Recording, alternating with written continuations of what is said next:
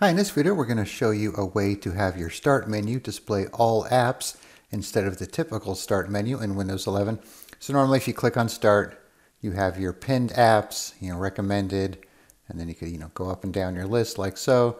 And then if you want to see all your apps, you have to click on the all apps button and then you could scroll down from there. So if you want the start button to go directly to all apps, there's a pretty easy way to do it. So we're going to be using a free tool called Windhawk. So once you download it and install it, you just need to search for the mod called Show All Apps by default in Start menu. So when you go to your home, it'll tell you what mods you have installed and some suggested ones. And then you could click on Explore and then search for it in the search box there. And then once you find it, you'll just click on Details and install it.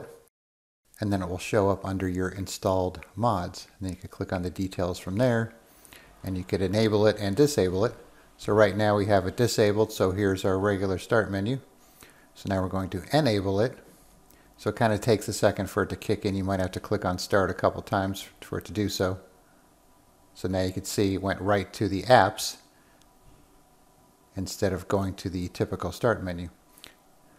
And then you can click on back if you want to go back to your pinned items. So if you find yourself going to all apps rather than your pinned items, this might uh, come in pretty handy for you. All right, so once again, just install Windhawk. Uh, it's pretty easy installation.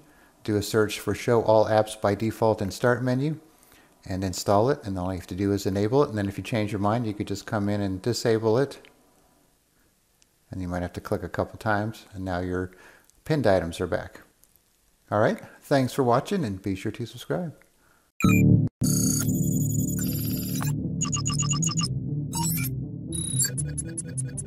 You.